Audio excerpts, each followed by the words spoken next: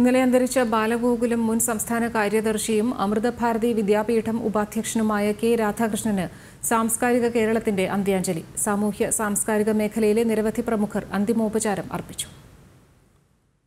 തലയോലപ്പറമ്പ് വെള്ളൂരിലെ വീട്ടിൽ ഇന്നലെ രാത്രിയായിരുന്നു അന്ത്യം. അറുപത്തിനാല് വയസ്സായിരുന്നു. കരൾ സംബന്ധമായ അസുഖത്തിന് ചികിത്സയിലിരിക്കെയായിരുന്നു മരണം. അമൃതഭാരതി വിദ്യാപീഠം സംസ്ഥാന പൊതുകാര്യദർശിയായിരുന്നു.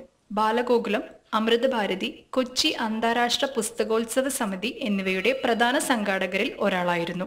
വെള്ളൂരിലെ വീട്ടിൽ നടന്ന സംസ്കാര ചടങ്ങുകളിൽ ബാലഗോകുലം സംസ്ഥാന അധ്യക്ഷൻ Prasannan master R S S ക്ഷേത്രീയ സ്വകാര്യവാഹ് M Radhakrishnan B J P സംസ്ഥാന general secretary A N Radhakrishnan national book trust അംഗം ഇ എൻ നന്ദകുമാർ എന്നിവർ പങ്കെടുത്തു.